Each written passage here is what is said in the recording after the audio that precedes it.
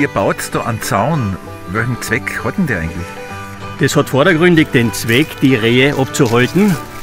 Aber in der Permakultur hat jedes Element mehrere Zwecke.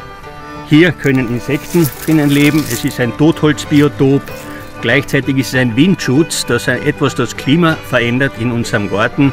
Es hält die Westwinde, die hier vorherrschen, etwas ab.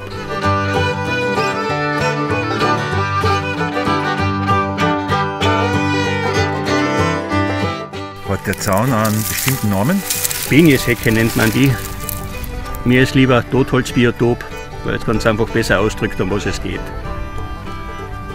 Ja, danke gerne. Danke dir, Peter. Komm bald wieder. Gerne.